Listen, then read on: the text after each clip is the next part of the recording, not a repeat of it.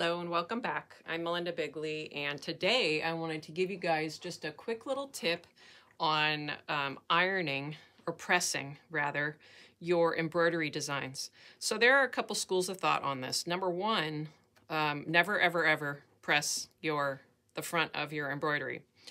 I'm not very good at a never ever thing, so I kind of go with what I've got going on with the project itself. Um, I will say that I don't embroider, I don't iron, I don't put my, the sole of my iron right on embroidery designs like this. There are times where I might press on my uh, quilting stitches, but um, what I would recommend is what's called a pressing cloth. So this particular pressing cloth came from um, OESD, and uh, all you do is you cover your embroidery and you're going to kind of just move across and that'll really take out any kind of puckers that you might have in there. So really what this, this tutorial is specifically about is this pressing cloth.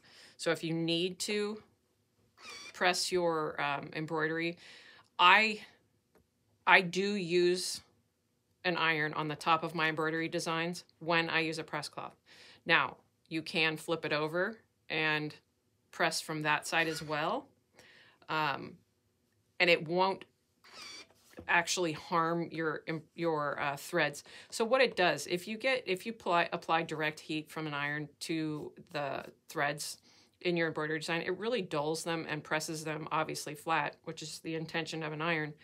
Um, and they just don't look as good as they should.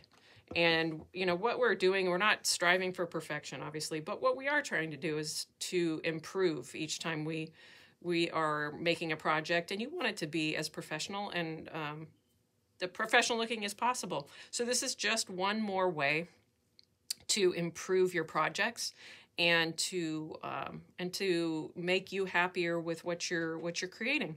Because it obviously feels good to make a project that we look at and we are proud of.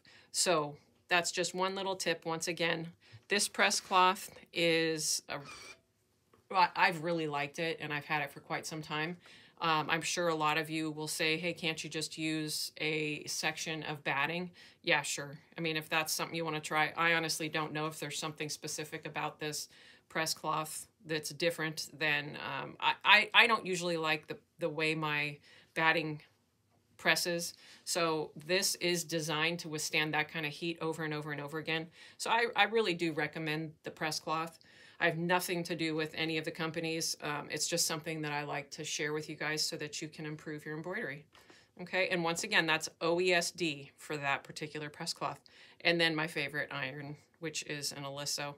And yes, you don't have to set it. You're not setting it like this. You set it right on the sole plate and it pops up. Kind of scary for some people at first, but they're pretty neat and they do have an automatic shut off. So little bonus tip that will be it for the day. I hope everyone is doing well. And if you haven't joined So Blessed Quilting and Embroidery Facebook group, please do so. We have um, we have our lives every Thursday at 3 p.m. Pacific Standard Time, and lots of classes listed there. We do have an, a, a website coming, and you'll be able to access it there for people that are not on Facebook. So have a wonderful day, everyone, and I will see everybody soon. Bye bye.